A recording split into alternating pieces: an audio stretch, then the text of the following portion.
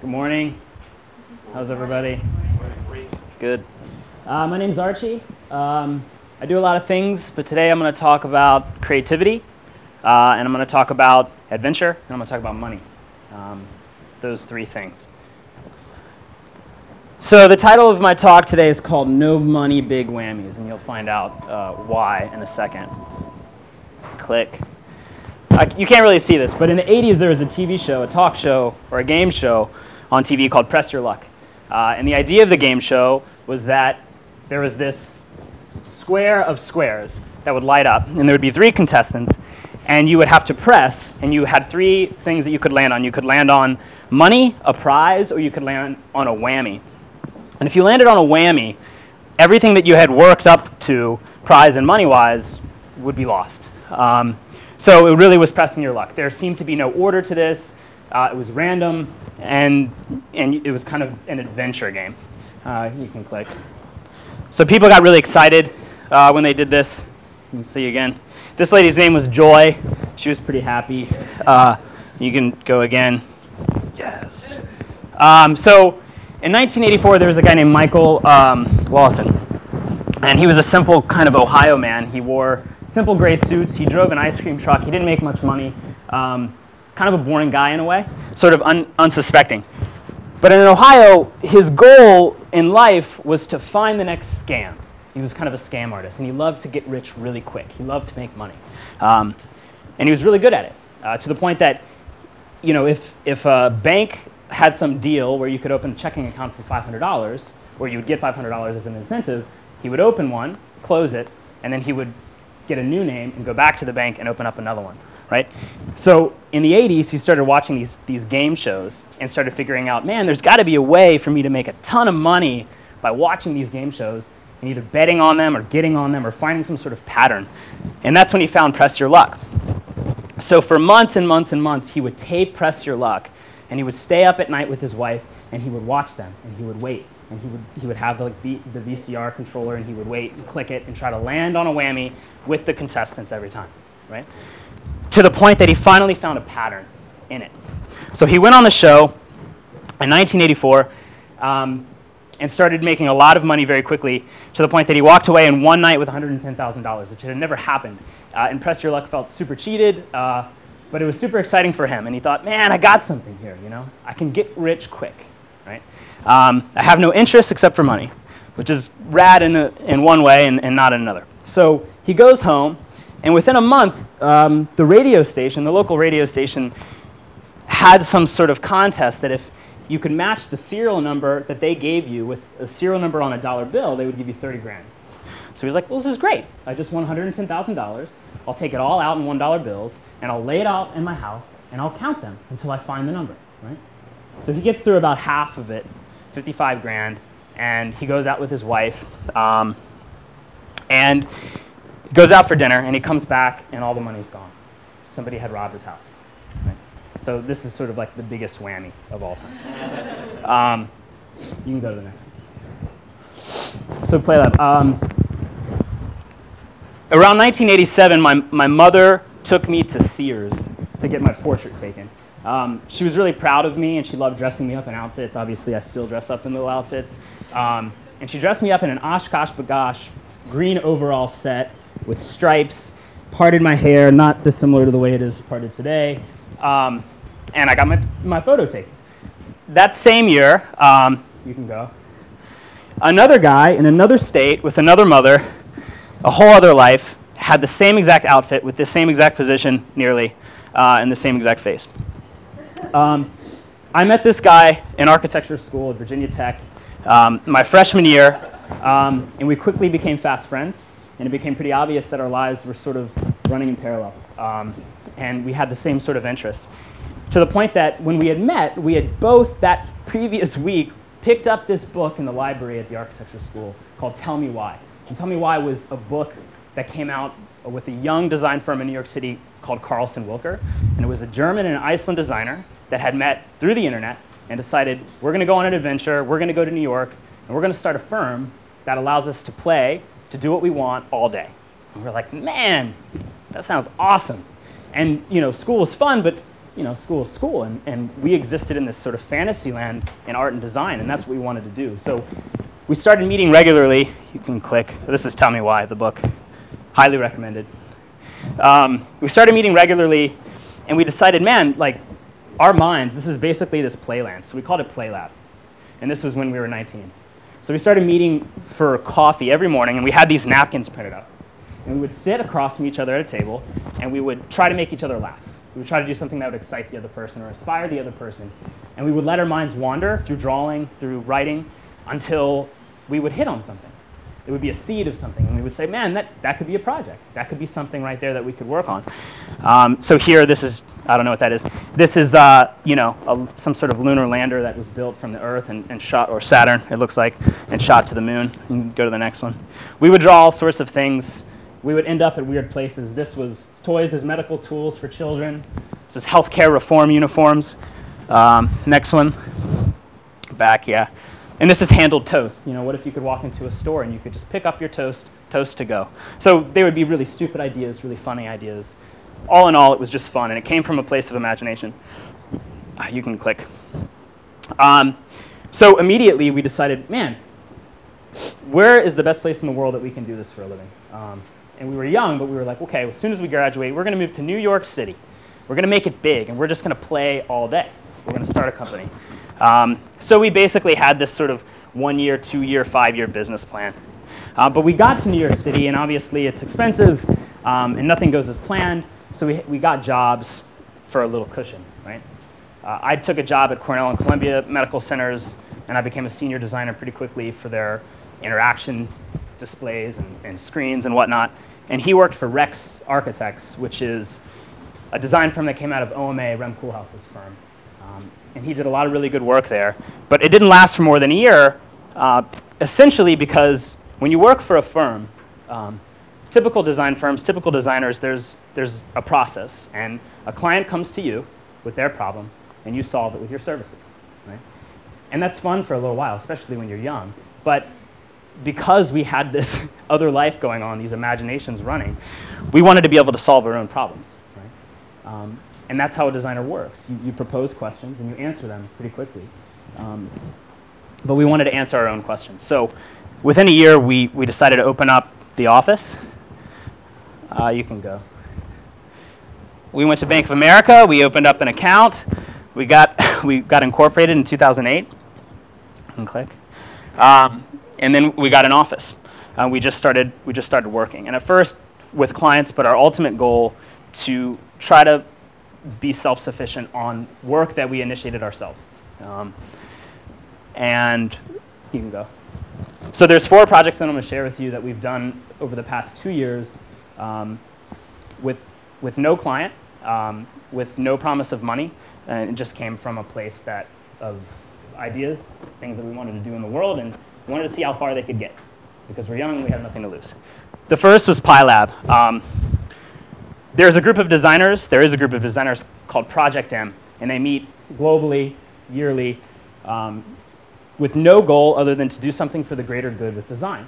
Um, something that would inspire somebody or change somebody's life. So we drove to Maine, uh, Belfast, Maine, and we met for two weeks, and we wanted to solve some sort of problem. And everybody's talking about all these world problems, but in the end, everything seemed pretty daunting. Um, the only thing that we really wanted to tackle was conversation. We thought that conversation was the seed of you know, solving a lot of problems. So we figured the best place to have conversation was over food, that this is where conversation happened the most. And what better food to have conversation over than pie, because it was a universal food. Um, so we essentially baked a ton of pie, promoted this very small event on this liberal coast town in Maine and gathered all these people and had conversation for a whole day. Um, and it was really fun. It was really special because we had done something that wasn't a poster, it wasn't a product, it was just an event. It was just a time with people, um, and lots of amazing things were discussed. So we were like, okay, well, how can we blow this up to a bigger scale?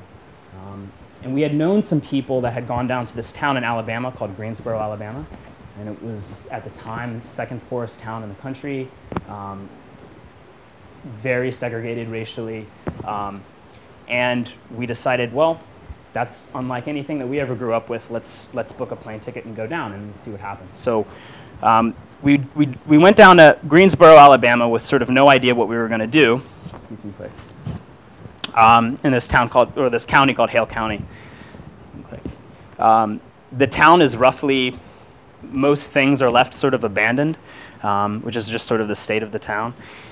And we looked for a lot of places to see if we could open up some sort of shop or, or pie shop or, or something like that until um, eventually we looked at warehouses and we looked at old dilapidated barns uh, and we stumbled upon this place um, that this nonprofit in the town had already owned.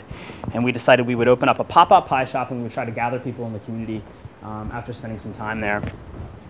So we opened up the doors and opened up this little shop. Didn't really tell anybody about it uh, unless we were having dinner with them or we would walk around the town and meet people. And then people just started coming in. It was the first time something had opened up in Greensboro, Alabama in 10 years. Um, you can click. And people would just gather. We built a table, we built kind of everything in the place, baked tons of pies every day, um, and we would have conversations at this table that were pretty fantastic. You can click. Pie. Pie lab. We must have a pie. Stress cannot exist in the presence of a pie. Um, and this is the local pastor in town, and people walked in all the time. He just walked in with a guitar one day, uh, and he wanted to play us music. And this happened every day for months. Um, and it was absolutely fantastic to the point that this little place couldn't really contain all the people that wanted to gather together. And people weren't gathering in this town. There's no gathering place. There's gathering places for black people, and there's gathering places for white people. And there's nothing where they can meet together. Um, so we decided, okay, well, let's apply for some grants to see if we can make this a little bigger. Um, you can go. Uh, this is this guy named Scott Hamilton, and he, his father was the local police chief, and he had a dream to go to college, and, and he didn't really know how, and he, but he was really good at drawing, and so we sat with him every day for a couple months and drew with him, and then he, we finally got him to apply to college, and he got in, and he's, he's there now. Um, so we got a grant, and we were able to purchase this building in downtown Main Street, um, and this is sort of a fake store, and this is sort of a fake store. That's the, the way that it, it works down there. There's, there's nothing really in the downtown. And now it's sort of, it's completely self-sufficient on the town. Um, Worms, uh, the New Museum of Contemporary Art in New York and this nonprofit called Storefront for Art and Architecture, they, um, they put out a call to redesign uh, street tents, a new type of street typology tent for, for street festivals in New York.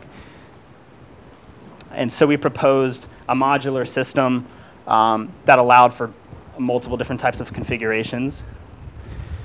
Um, and it made all these shapes, and you can put them together in all sorts of different ways. Um, and this is the way that it would look on a street.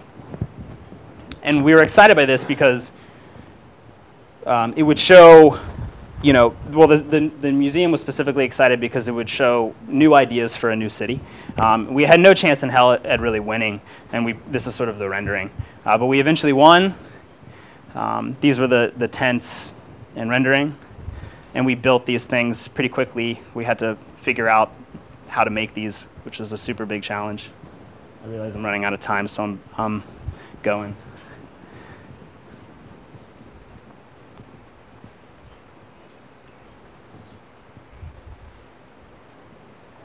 Can we go to the pool? Just keep going to hit the pool. I'll talk to you guys after this, but we went to Saudi Arabia and we opened up a graduate, graduate level course. All right. Um, so we wanted to work with people that, that felt the way that we did, that all things were possible, that any idea could happen. Um, and so we ran into this guy, Dongping Wong, um, who was an architect. And he had started an architecture firm the same time we started our firm. Um, and he had an idea that basically you know, especially in the hot summers, that he, living on Manhattan, you're surrounded by water, but you're never able to actually jump in it or use the water to swim in. Um, and you know, he was focusing on ecological work, environmental work, and so he proposed um, to us, you know, working on a project together. Um, there had been incredible history of floating pools or pools in general. This is McCarren Park Pool in Brooklyn. Um, and if you go to the next slide, there was floating pools as early as the, the mid 1800s. So we propose a, a floating pool uh, for the city, and with no with no client or no real goal other than seeing if there was a reception for this idea. Um, but we proposed not just a floating pool, but a pool that would actually filter the water of the river itself, so that you could actually clean, swim in clean water for the first time in the river. Um, and so the walls of themselves would actually act as the filter of the pool. Go. Um, we wanted to kind of achieve this feeling that you could that you would be swimming in the river, but in this body of water that was clean. But that would um, bring attention to the fact that you know maybe the future of this river it actually could be clean. Uh, the shape of the pool basically came from four pools kind of stuck together. You have lap lanes, you have lounge, you have a kiddie pool, um, and they together they make a plus. Um, and you can even open up. This is one Olympic size swimming lane. So you could open it up and it could be a free swim, or you could close it down and have an actual swim meet. Um, and the uh, part of the shape came from the idea of a typical New York City intersection, um, and it just sort of translated into the water. And we wanted to kind of achieve this, this sort of iconic uh, feeling of architecture in the city, and it, that it would work well in all sorts of different situations. So this obviously was a pretty pretty radical idea. It's something that maybe, maybe not ever happen. And we didn't really know what to do, so we just spent a month and we proposed this idea to the world. We, we designed a campaign, we, we did renderings, and we, we, um, we launched a website eventually. Um, and just kind of put it out there. Within, within a couple days, we started getting calls from, from people all over the world asking us for more information. And then by the end of the first week, we got a call from uh, the world's sort of largest innovative engineering firm, Arup. Um, they, they met us for lunch and they said, hey, you know, this is, this is something that hasn't been done before and, and we'd like to, to help you solve it. Um, so we spent the next six months um, with them proving whether or not the pool would be feasible to do, uh, both mechanically, electrically, and, and filtration and permitting. Um, and then at the end of all that, they gave us a, a stack report that said this pool can happen, and we're going to figure out how. Um, so recently, the past two weeks, we launched a, a, Kickstarter campaign to raise the initial funds to, to test the actual the methods of filtration, which is three, layer, three layers of geotextiles. Um, and within a couple days, we reached our goal. Keep going.